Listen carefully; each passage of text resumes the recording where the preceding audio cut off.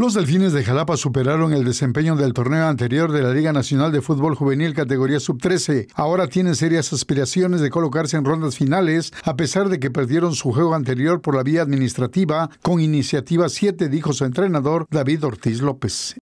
Sí, estamos a tres partidos de, terminar este torneo, de la sub-13.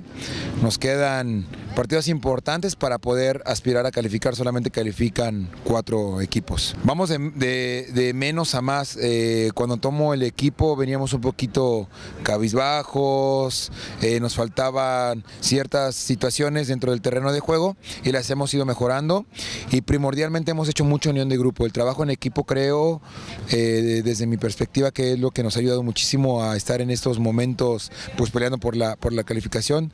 Fin de semana ganamos, pero ganamos en el terreno de juego 3 a 0, pero desafortunadamente administrativamente ahí hubo situaciones y, perdimos el partido. Nos pegó un poquito anímicamente porque eran cuatro partidos que tenemos contemplado queremos aspirar a ganarlos y este fin de semana tenemos tres bajas, pero vamos a, pelear por ganar el partido. El equipo ha mejorado en la recta final de la temporada regular gracias a la armonía que existe entre materia prima que son los jugadores, padres de familia, cuerpo técnico y directiva rumbo a la liguilla, dijo el estratega.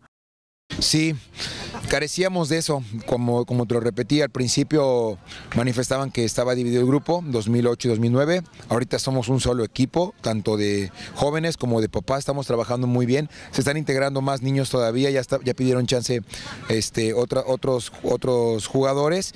Y pues eso es lo que nos está, nos, está sacando adelante. Números, podemos decir el torneo anterior se hizo, números fueron ocho goles a favor, ocho goles que se anotaron.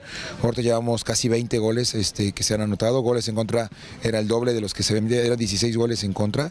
Y ahorita llevamos eh, ocho goles en contra. ¿no? Entonces creo que vamos, vamos superando. Nuestro goleador Yowal está, lleva nueve goles en este torneo. El torneo pasado metió tres goles. Entonces pues creo que los números ahí van poco a poco. Y este equipo se va a ir a la sub-15 el siguiente, los siguientes meses y, y va a hacer bien las cosas. La plantilla que forma la categoría sub-13 en los próximos meses será la base del selectivo Delfines sub-15, que participará en el torneo clausura de la Liga Nacional de Fútbol Juvenil, que avala el sector aficionado de la Femex Foot. Para RTV Más Deportes en Cámara, Gustavo Flores informó Carlos Serrano Bazán.